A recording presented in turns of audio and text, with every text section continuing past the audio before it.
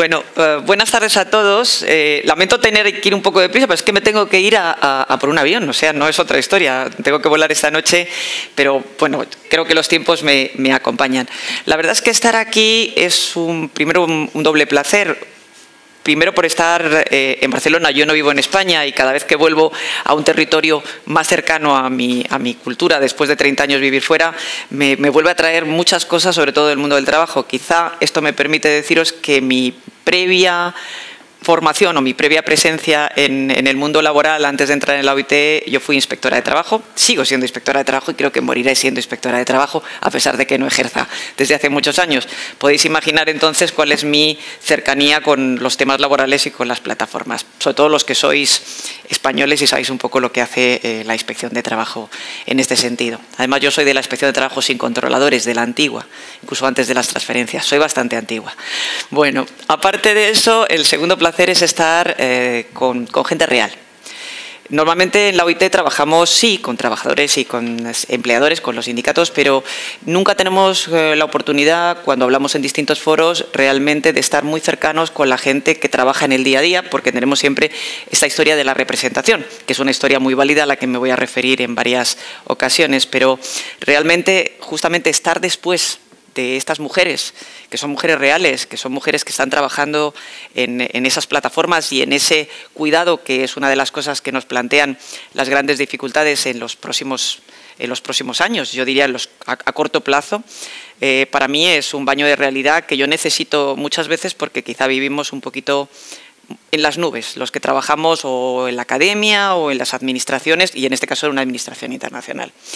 Yo querría, y, mi presentación eh, la he estado cambiando continuamente porque uno tiene ideas de lo que quiere hablar el futuro del trabajo, pero yo lo que querría es contaros un poco la apasionante historia de nuestro viaje al futuro del trabajo en los últimos cinco años en la OIT. Yo he tenido la oportunidad, hasta hace dos meses, de ser la coordinadora de la iniciativa sobre el futuro del trabajo junto con el director general, lo que me ha permitido estar muy cercana a todas las conclusiones, a la formulación de la declaración del centenario y a todos los trabajos que se han venido haciendo en el seno de la OIT y en otras organizaciones por las relaciones tan estrechas que tenemos. Pero para poder hablar de lo que hoy pensamos que debe hacerse para afrontar el futuro del trabajo, que va mucho más allá de la tecnología o de las plataformas, en la OIT es quizá importante pensar, eh, situarnos 100 años atrás. Justamente dentro de aproximadamente 15 días se celebra realmente el 100 aniversario de la creación de la OIT. Y esto es un momento más importante de lo que nosotros pensamos. Yo creo que eh, es importante traer a colación que estamos viviendo en un momento de un cambio, que no solamente un cambio laboral, estamos viviendo un momento de cambio social. Estamos cambiando el modelo social, más allá del modelo de negocio. Estamos viviendo una época de cambios vertiginosos, de cambios eh, fundamentales. Pero mi pregunta es, ¿estamos viviendo también una época de cambio ideológico? ¿Se han cambiado los valores? De aquí yo me planteo, ¿es necesario tener un nuevo contrato social que se fundamentaba sobre una serie de valores o simplemente hay que reformular el contrato sobre los mismos valores? Creo mi respuesta es bastante obvia, pero quiero justamente partir de, esta parte más histórica. Hace aproximadamente 100 años nos encontrábamos al final de una Primera Guerra Mundial que había eh, cambiado al mundo. Y lo había cambiado solo, no solo porque había habido una, conflagración donde habían entrado numerosos países, sino porque a partir de 1912 habíamos entrado en una época de huelgas, huelgas femeninas, donde los actores sociales y los políticos se dieron cuenta de actores sociales, no en el concepto que hoy entendemos, actores sociales, miembros de la sociedad, se dieron cuenta que no era posible construir una paz duradera sin justicia social. Esto fue lo que llevó que al final de 1919, cuando se firmó el Tratado de Versalles, se constituyera la primera organización internacional que por una casualidad se llamó Organización Internacional del Trabajo. La Sociedad de Naciones se generó en torno a la idea de trabajo. El trabajo se configura a nivel internacional como el motor de cualquier sistema multilateral. Esto lo olvidamos con mucha frecuencia. Segundo punto importante a tener en cuenta, las organizaciones de trabajadores existían un siglo eh, atrás. Habían existido ya desde 1818, 1820, Inglaterra, eh, Reino Unido, eh, algunos movimientos en Prusia y en Francia, pero las organizaciones de empleadores no existían. No existía ninguna asociación de empleadores. Es con la creación de la OIT que apenas meses más tarde se crea la Organización Internacional de Empleadores y Organizaciones Nacionales de Empleadores. Segundo punto, el tripartismo, el diálogo social, se empieza a generar con eh, el nacimiento de la OIT. Algo que nos parece tan obvio como como el pan nuestro de cada día, vamos, estamos todos hablando de este tema. El tercer tema importante es que eh, se crea y se adopta una declaración en 1919 que yo aliento a todo el mundo a leer. Es una página, por lo tanto no tiene mucho, mucha dificultad. Una constitución, una constitución que es eh, el artículo 423, párrafo 12 del Tratado de Versalles, en el que se dice tres puntos para mí fundamentales. Uno que ya he mencionado, es necesario trabajar en pos de la justicia social. Un segundo punto que habla de eh, la necesidad de guardar la dignidad de los trabajadores a través de la mejora de las condiciones de trabajo. Y un tercer punto que esta mañana ha mencionado Ana, creo que es la única que lo ha mencionado, no he podido asistir a todo, pero además había paralelas, el trabajo no es una mercancía. Y esto es un punto fundamental cuando oímos algunos de los eh, de las yo diría, presentaciones que se han venido haciendo en materia de los derechos laborales de los trabajadores de las plataformas. Y esto es fundamental. A partir de 1919, como digo, se ha producido, yo creo que un cambio social importante, muy fundamentado en una idea que luego se consolidó con la Constitución de Weimar, el Estado de Derecho, un Estado social de derecho, un Estado eh, que genera una nueva idea ética y axiológica del valor trabajo, el trabajo cambia, el hecho trabajo cambia en su formulación y que ha ido evolucionando y consolidándose. Eh, la idea fundamental en el que, se, desarrolla la idea de trabajo es, vuelvo a repetir, la mejora de las condiciones de trabajo.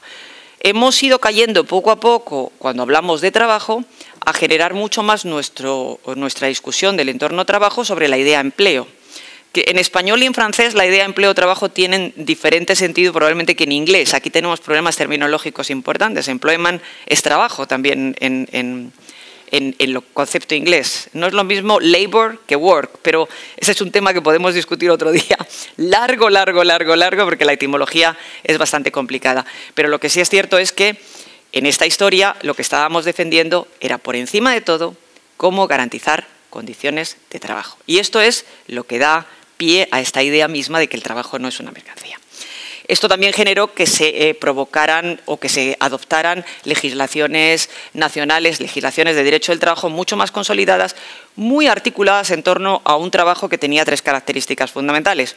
Un trabajo subordinado, un trabajo productivo y un trabajo humano.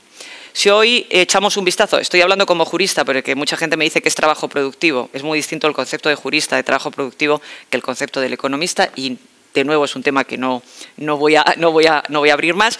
Lo cierto es que si hoy examinamos desde un punto de vista jurídico estas tres características, lo único que queda como, como, como presencia del trabajo en nuestros mercados realmente como una característica típica es que el trabajo es humano, porque el trabajo que hacen los robots, y aquí me vuelvo incluso al marxismo clásico, que, definió que el trabajo con los animales no era trabajo, o sea, Marx lo deja muy claro, los robots lo que hacen es ayudar, es, y la inteligencia artificial no hacen trabajo, apoyan el trabajo, lo único que queda es que el trabajo es humano. Trabajo subordinado, yo creo que ha quedado muy claro en estos dos días que ya, pues como que estamos con muchas dificultades de saber si es trabajo subordinado y lo de productivo desde un punto de vista jurídico para mí está claro. ya en los años 70 muchos de los autores, en este caso españoles de la doctrina mm, eh, laboralista, decían que el trabajo productivo se estaba extinguiendo. Desde que se crea la OIT entramos en un proceso de modificación, de cambio en las relaciones laborales brutal y con cambios enormes también en los sistemas de producción. Y yo creo que eso es muy corto, eh, importante mencionarlo. Yo creo que tenemos primero una crisis, la de 1929, todo el mundo conoce, aunque solo sea por las películas, porque no creo que haya nadie aquí que viviera la crisis del 29. Eh, eh, una crisis económica importante que genera situaciones psicológicas de estrés y de angustia muy similares a las situaciones que hoy estamos viviendo, pero de manera constante generaron suicidios colectivos que me recuerdan mucho los, suicidios de Wall Street a los suicidios de Telecom recientes en Francia. En Francia hay una tendencia al suicidio, como en Japón, bastante superior a la de otros países. Nadie me diga por qué, porque no lo sé. Eh, por motivos laborales me refiero. Eh, Después de 29 entramos en una guerra, un periodo entre guerras, y un 1944 que termina a efectos de la OIT con una nueva declaración, una declaración de Filadelfia que forma parte de nuestra Constitución y que en este caso refuerza de nuevo todos estos principios de la OIT, añadiendo una nueva perspectiva mucho más clara y un desarrollo de muchos de los derechos que hoy consideramos derechos fundamentales o derechos humanos en el trabajo. Esta declaración también es una joya, es un modelo, modelo de, joya, de proyecto de declaración con contenido que también yo recomiendo e incito a la lectura porque me parece eh, muy bonita. Después de la Declaración de Filadelfia, a partir de fines de los 50, entramos en la famosa 30 gloriosos con un impulso de las relaciones laborales brutal, el desarrollo de la negociación colectiva, eh, la gran generación en el ámbito de la OIT de los convenios de negociación colectiva y libertad sindical, la explosión de los derechos de los trabajadores y de la bonanza, de una cierta bonanza de crecimiento que, sin embargo, tiene en un periodo de estos 30 gloriosos una primera crisis generada por un cambio tecnológico. Una crisis del 52 que aparece en parte de nuestros anales en algunas reuniones sectoriales, señalándose ya y no voy a citar las cuotas, pero mm, es importante que se tenga en cuenta que había un miedo similar, no voy a decir al ludismo, pero un miedo al cambio, al cambio que se estaba produciendo con el uso de las máquinas, que generó temblores en los trabajadores y que hablaban de que el trabajo se acababa. Parecía, en algunos casos encontré frases similares a las de 1995 con Rifkin, pero para señalaros que fue en el 50 y el OIT señaló que cualquier cambio en aquel momento no siempre significa que el empleo eh, acabe, sino que el empleo se transforme. 1972, la gran crisis del petróleo. En esa gran crisis del petróleo, para algunos, para los del World Economic Forum, es la segunda eh, revolución industrial. Yo es que soy partidaria de hablar de una única revolución industrial y como mucho de que estamos en la segunda, porque para mí hubo la revolución paleolítica, la revolución industrial y quizá ahora podemos hablar de una revolución tecnológica. Yo creo que esto se ha convertido en un negocio, esto de las revoluciones industriales para escribir libros, pero bueno. Esta es una opinión muy personal, no de la OIT. Eh, en cualquier caso, 1972 plantea por primera vez todo lo que serían los indicadores de cambio de este futuro del trabajo que estamos tratando hoy. Por primera vez se habla de crisis de medio ambiente, por el tema del petróleo, cómo está afectando los cambios de, energía. Hay un cambio tecnológico, ya se está empezando a utilizar los primeros cambios del Internet, del uso de las máquinas, de la tecnología, por supuesto, a una velocidad muy diferente a la de hoy en día empieza a tenerse miedo al cambio demográfico, no al nivel que estamos viviendo hoy en día, y eh, también vivimos una época de convulsión ideológica importante. A partir de los 70, el mundo entra en cambios constantes. En la época de en los países Europa quizá no ha vivido los mismos ritmos que otros países, los ajustes estructurales con la reducción en masa de la función pública en, países del tercer mundo, el nacimiento y el desarrollo de lo que se llama eh, la economía informal, no tan conocida en, Europa. Nosotros hablamos de trabajo no declarado y es un poquito diferente a la economía informal. Entramos en los 90 en otra serie de fenómenos eh, económicos y, sociales y llegamos a los años, al nuevo siglo, no solo con el miedo de que el mundo se va a acabar con las teorías catastrofistas, que son puramente teorías sin sentido, sino para entrar en una época en la que vemos que el futuro del trabajo nos empieza a angustiar y que hay un cambio brutal en, la situación actual. ¿Cuáles son algunas de las cifras? Es por eso que tengo conmigo eh, eh, este, este estos papeles en las que nos encontramos hoy en día y cuáles son las perspectivas. No quiero ser pesimista, pero las cifras lo son un poco. Luego pasaremos a la parte más optimista. En cualquier caso, lo que se ha producido durante estos, yo diría, 90 años o 80 años, ha habido dos temas que yo creo que, son la forma de concluir eh, cómo ha evolucionado todo este mundo sin perjuicio de las idas y venidas y de las mejoras o, em, o los empeoramientos. Uno, que la cohesión social se ha vulnerado en muchas, en muchas de las ocasiones y que los desequilibrios es decir, la distribución de la riqueza y la desigualdad, y no solo en materia económica, sino en general, se, han incentivado, se han, generado y se están, eh, y se están eh, yo diría, incrementando. Luego veremos cómo funciona esto con la brecha digital. Eh, eh, para empezar, nos encontramos con que tenemos un estancamiento de crecimiento económico y, del empleo. Las cifras que utiliza la OIT es que eh, se calcula una pérdida de 5 millones de puestos de trabajo entre 2015 y 2020, lo que es mucho lo que es mucho sobre todo porque si tenemos un, periodo de, desaceleración o de estancamiento de crecimiento económico, la producción de empleo no va a llegar nunca a generar al mismo nivel. Son cifras, por supuesto, que son tendencias, pero, está claro que no, eh, tenemos que, que, perder de vista en dónde estamos. La transformación demográfica, voy a dar una cifra solo significativa para asustar un poco qué está pasando con algunos países donde el tema demográfico es absolutamente angustioso. Los que conocéis China, algunos de vosotros habéis estado en China, sabéis que uno no conoce qué significa la palabra grande hasta que no ha llegado a China. Bueno, las cifras de los demógrafos chinos para 2040, el número de, de personas de edad que van a necesitar cuidados y que son, además de edad, minusválidos, o sea, que te pertentan una discapacidad, son 45 millones. No pueden tener ni cuidadores, ni residencias, ni locales con la política de un solo hijo que ha tenido hasta el año 2015, capaces de asumir esa carga que no es que sean solamente personas mayores, sino también eh, discapacitadas. O sea, no saben qué van a hacer dentro de 22 años. No saben cómo van a atender a esta situación. Esto es para explicaros simplemente cuál es un cambio, un posible cambio demográfico tremendo que se puede plantear. El cambio climático, yo prefiero ya ni hacer ningún ejemplo al respecto, solo para mencionar que probablemente en menos de 20 años, 30 años, nos encontremos de nuevo con el fenómeno de estados, el único que conocemos es el caso de Israel y es muy particular, no tiene nada que ver, pero nos vamos a encontrar por motivos de cambio climático estados y poblaciones que no tienen territorio, porque han desaparecido sumergidas por, eh, por las aguas. Esto es una situación bastante compleja. Todo esto afecta al mundo del trabajo de forma eh, eh, grande. Cuando hablamos de personas eh, con empleo, de los problemas de empleo, nos encontramos con que se afectan poblaciones muy específicas, en particular los jóvenes, en, todos los, en todas las regiones del mundo, salvo en el caso de África, que es la única región que sigue siendo una región joven con prospección de crecimiento de la población joven en relación a la, población eh, de edad. Y nos encontramos de nuevo con un problema de la aprobación de edad. Una aprobación de edad que no solo necesita cuidados o necesita ser eh, contribuyente o recibir los beneficios de la seguridad social o de la protección social en general, sino que en algunos casos quiere seguir trabajando y que tiene dificultades en encontrar este traslado intergeneracional. Bueno, pues este es más o menos el mundo eh, en el que nos encontramos. Y en este panorama, la centralidad del trabajo yo creo que es fundamental. Yo creo que en torno eh, a todo lo que nos rodea podemos hablar que el trabajo hoy, más que nunca, está en el centro de nuestras necesidades, de nuestras perspectivas y de nuestras, de nuestras querencias. Esto lo pruebo y lo podéis ver en la síntesis que se hizo para la preparación del, para los trabajos de preparatorios de la comisión, porque hicimos diálogos nacionales en aproximadamente 110 países, fueron los países los que los hicieron, y lo cierto es que la conclusión general de todos los países es que la gente quiere trabajar.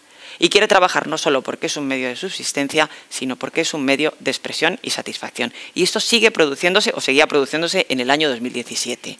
Por lo tanto, el trabajo es central. Es central para nuestro desarrollo personal. ¿Pero qué está ocurriendo con el trabajo? Bueno, pues que el trabajo está cambiando en esa naturaleza, porque ha cambiado el modelo social. Y nos encontramos, creo que se ha mencionado antes, creo que ha sido Lucía en el panel de las administraciones, que señalaba eh, que ya las esferas privada y pública se mueven de una forma completamente diferente. Nos estamos encontrando con que la salud, que es una enfermedad profesional, ¿Y qué es una enfermedad personal? ¿Hasta, dónde punto, ¿Hasta qué punto el estrés en el trabajo es estrés en el trabajo o estrés en la casa? Horarios de trabajo. Sociedad 24-7. Vale, el derecho a la desconexión. Me parece estupendo que exista el derecho a la desconexión. Pero ¿y si yo soy incapaz de desconectar? ¿Cuándo desconecto? Si a mí em, que me desconecten o que me apaguen el ordenador a las 6 cuando yo quiero, prefiero descansar de 3 a 6, no me conviene porque prefiero trabajar de 6 a 9. ¿Cómo adapto esa desconexión a mis necesidades personales? Si, si hablamos de flexibilidad, por supuesto. Segundo, deslocalización del puesto de trabajo. Antes todos trabajábamos en una fábrica, en un centro de trabajo, en una oficina. Bueno, o, el centro de trabajo era móvil, pero, pero era el centro de trabajo. Ahora si alguno trabajaba en un coche o en un autobús y era un centro de trabajo y era un trabajador subordinado. Ahora, ¿cuál es el centro de trabajo? ¿Cuál es mi lugar? ¿Dónde estoy? ¿Cómo estoy? ¿Tengo las condiciones de seguridad? Eh, ¿Un seguro privado me cubre mi riesgo profesional? Y cuando voy en la bicicleta, si soy un rider... Eh, Eh, cuando voy en la bicicleta es solamente cuando llevo el papelito de Deliveroo, de Globo, de Amazon, que soy, o a lo mejor en ese momento he parado y hacer una, mm, una parada en la farmacia porque necesito comprar aspirinas y es mi parte personal. Todo esto es confuso. Y lo pongo como ejemplo porque es obvio que estamos confundiendo todas las esferas. Ante esta situación, la OIT se encontró eh, con que hablábamos de futuro de trabajo. Y cuando nosotros hablamos de futuro de trabajo, no podíamos centrarnos únicamente en tecnologías, porque, como digo, nosotros estamos fundados en valores. Eh, la idea de, crear esta comisión sobre la base de esos diálogos nacionales y de una serie de estudios que se hicieron es una idea que, parte ya de una comisión anterior que fue para eh, desarrollar el estudio sobre el valor social de la globalización que se hizo en el 2004 con el director general anterior, con Juan Somavía, pero eh, la idea era crear una comisión que asesorara al director general, eh, que es, digámoslo así, el jefe de la oficina, no el jefe de la organización, en cómo afrontar ese futuro, por supuesto, con la centralidad del trabajo y considerando que en el eh, ámbito multilateral la organización líder en el ámbito del trabajo y legítimamente líder es la OIT. Y repito, somos legítimamente líderes porque eh, así se nos consagró en 1919 y Naciones Unidas no existiría si no hubiera existido la OIT. Tanto y tan simple como eso. Esta comisión realizó, después de aproximadamente 17 meses de trabajo y de discusiones muy, muy eh, complejas, complejas porque eran 27 comisarios de diversas nacionalidades, características y formación. Yo me quejo porque había muy pocos juristas y a mí eso me parece fatal, pero bueno, eran casi todos economistas y a mí eso siempre me parece que hay un desequilibrio, parece que el mundo va en esa línea y a mí me parece que perdemos una parte importante en materia de regulaciones. Bueno, esta comisión realizó un informe que también creo que fue muy relevante, un informe de carácter político, no es un informe de carácter técnico, que se centraba, yo diría, en tres puntos fundamentales que de nuevo, por el predominio en la redacción de la lengua inglesa, a veces chocó un poco la redacción porque hablaba de invertir. Yo hablaba de lo del concepto económico. Digo predominio de la lengua inglesa porque a nosotros nos choca mucho que se hable de invertir en personas. Parece como que eh, iba un poco en contrario con la idea de que el trabajo no es una mercancía. ¿no? Eh, es una cuestión de lenguaje. A los latinos nos chocaba mucho la expresión y hubo también muchas discusiones al respecto. Pero bueno, este informe lo que intentaba era que teníamos que invertir en personas, teníamos que invertir en las personas, no en personas. En las personas teníamos que invertir en las instituciones y teníamos que invertir en mejorar justamente todo lo que es la empresa, la sostenibilidad y la transición justa. Estos tres puntos tenían como eje fundamental la idea de que lo fundamental de nuevo es que el trabajo es humano y que teníamos que generar una agenda social centrada en la persona, centrada en el ser humano, en el hombre y en la mujer. Y eh, establecía una serie de recomendaciones, unas 10, en general es un grupo de, unas 10, 12 recomendaciones, que sintetizando voy a ir a las más importantes, pensando en el tema de las plataformas, que es lo que nos trae aquí. Yo creo que aparte de hablar del tema de las, competencias que las enfocaba la comisión, que las enfoca, porque yo creo que el informe es todavía muy vigente porque se lanzó en enero de este año, eh, en la idea de una eh, competencia, de una educación, de una formación para toda la vida y además basada en una educación previa, muy ligada a la idea de una educación primaria. Además, se habla mucho y se hace mucho hincapié en la idea de una, eh, un intercambio intergeneracional en la importancia de hacer un intercambio intergeneracional y aprovechar los valores. Es decir, no se trata de tirar al senior, yo ya no hablo de viejo porque ya me empieza a preocupar, ya me voy acercando, pero sino aprovechar y ver de qué manera podemos aprovechar mejor las competencias. Eso es un tema fundamental, pero un tema complicado porque de nuevo es quién financia toda esa formación a vida y cómo se gestiona. Complicado. Aviso, este año habrá eh, una, reunión normativa, la conferencia, no este año, el que viene, 2020, eh, hay una, discusión en la OIT normativa para convenio o recomendación, o las dos cosas, eh, sobre el tema de aprendizaje y que va a tener mucho que ver con la formación a vida. Segundo punto importante para, el tema de, lo que estamos hablando estos días es lo que se ha definido, y es un concepto nuevo en español, pero no es un concepto, eh, es un concepto que ya existía en inglés, como la soberanía del tiempo de trabajo. Digo que es nuevo porque en español siempre habíamos hablado de la gestión del tiempo de trabajo.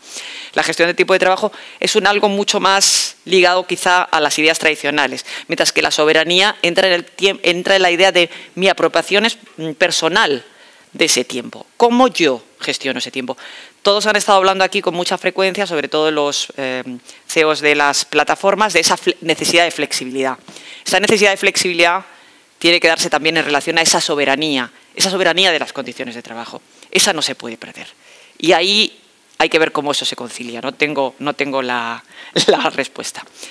Una tercera posición que yo creo que era fundamental era garantizar pisos de protección social mínimos. Hay toda una recomendación de la OIT al respecto que yo creo que es importante.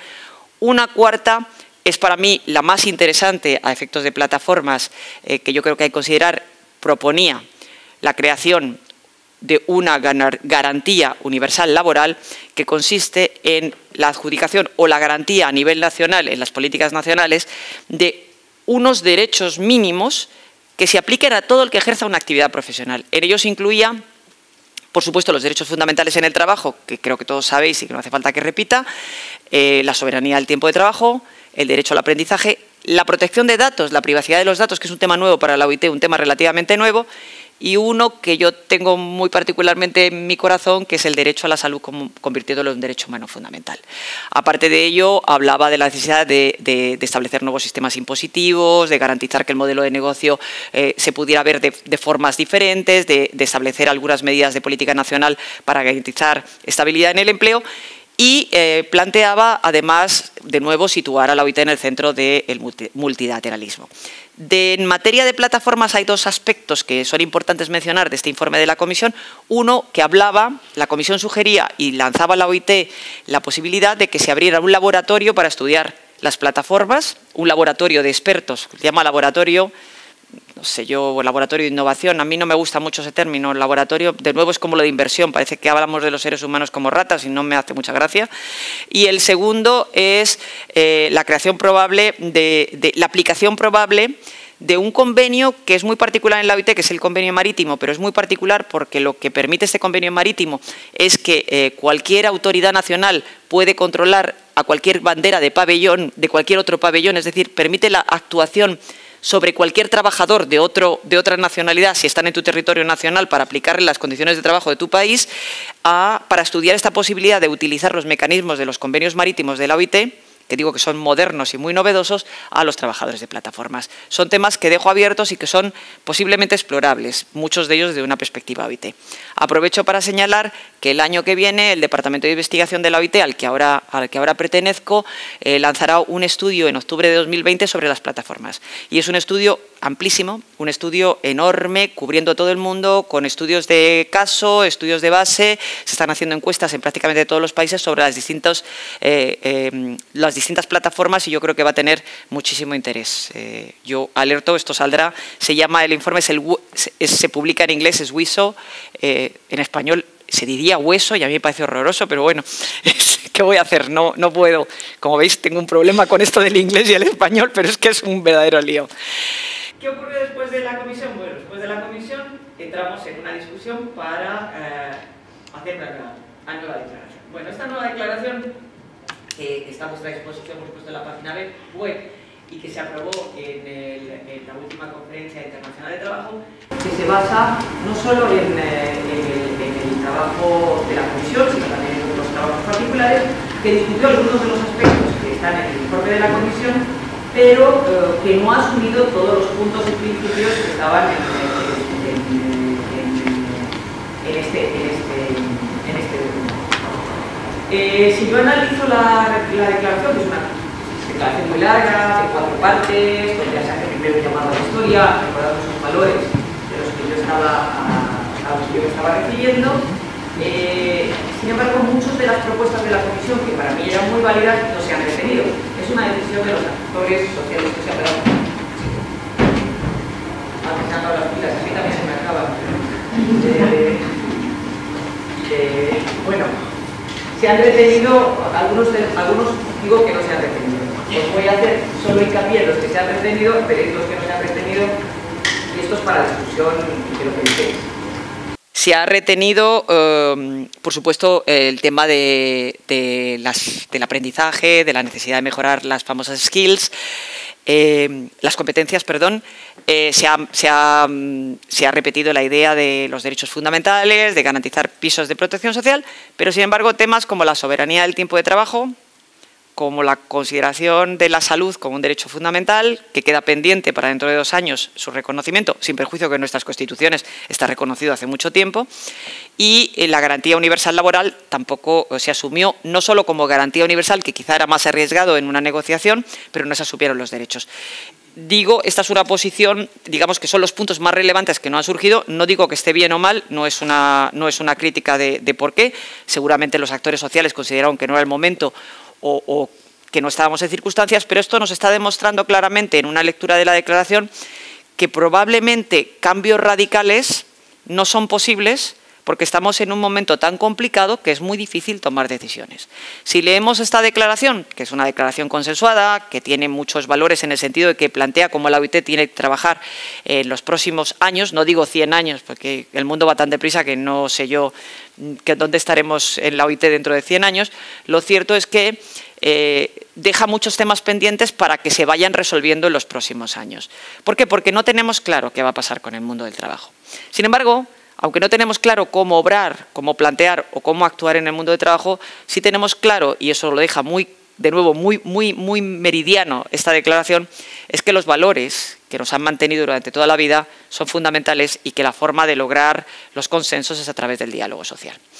La declaración, en el fondo, lo que viene a decir es que sí es necesario tener un contrato social, pero no tanto un nuevo contrato social, sino revitalizar el contrato social que existe. ¿Por qué?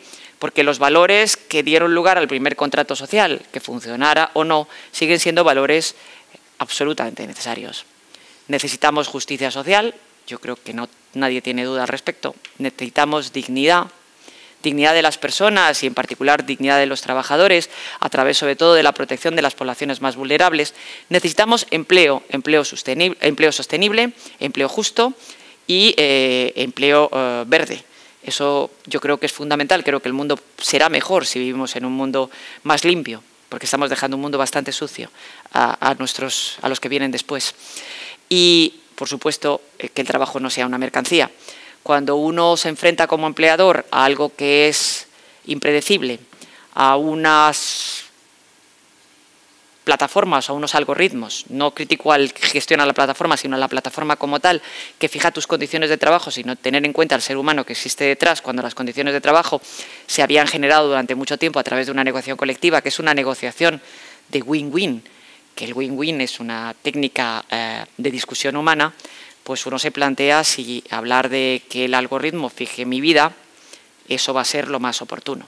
No estoy en contra de los algoritmos, porque los algoritmos a mí me han salvado la vida. Yo he tenido un cáncer, el cáncer se, el cáncer se curó porque se aplicaron las técnicas que eh, se utilizaron a través de los algoritmos. Es decir, el algoritmo ayuda, pero el algoritmo no puede convertirse y no puede sustituir al ser humano. Por lo tanto, para la OIT lo importante es que en los próximos años tenemos que fijarnos en seguir garantizando esos valores, que ese contrato social, que aquí se ha venido más o menos discutiendo de alguna manera, siga siendo eh, un tema que se discuta sobre los valores que existen, que siguen siendo necesarios y que yo sé y que creo que son los valores que van a fundamentar eh, la paz social y la democracia. Y esto es todo. Muchas gracias.